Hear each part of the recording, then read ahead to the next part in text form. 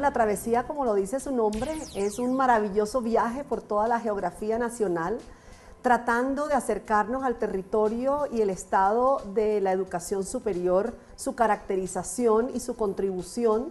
a las agendas de competitividad y de productividad de los distintos departamentos de nuestro país. Bueno, en primer lugar, lo que estamos buscando es una movilización social en torno a la educación superior, a la formación para el trabajo y desarrollo humano, como necesarios temas de implantación en las agendas públicas de los distintos departamentos, de tal suerte que se logre avanzar en esa cadena de formación desde la educación básica media hasta la educación superior que garantiza el desarrollo de competencias fundamentales para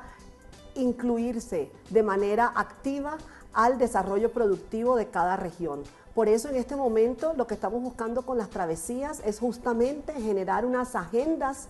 de trabajo articulado entre los distintos actores relevantes del territorio, instituciones de educación superior, instituciones de formación para el trabajo y desarrollo humano, gobiernos locales, departamentos eh, administrativos, eh, distintas instituciones eh, de desarrollo empresarial, gremios, en fin, todos los actores que de una u otra manera necesitamos articular para construir conjuntamente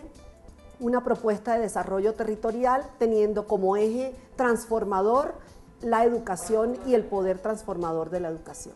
Igualmente, eh, aprovechamos la ocasión para firmar alianzas, para eh, firmar convenios de desarrollo territorial orientado a la regionalización de las instituciones de educación superior, a proyectos de constitución de nuevos centros regionales de educación superior, a socializar e informar a la ciudadanía sobre las distintas oportunidades